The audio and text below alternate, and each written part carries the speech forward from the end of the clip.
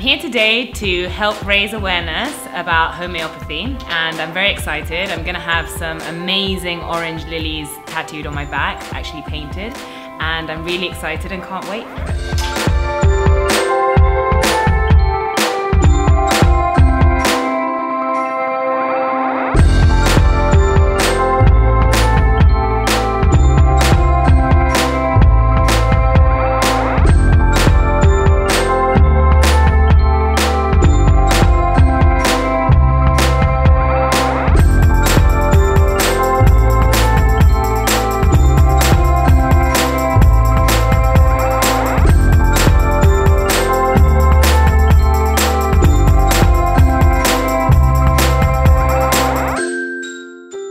Homeopathy works for me.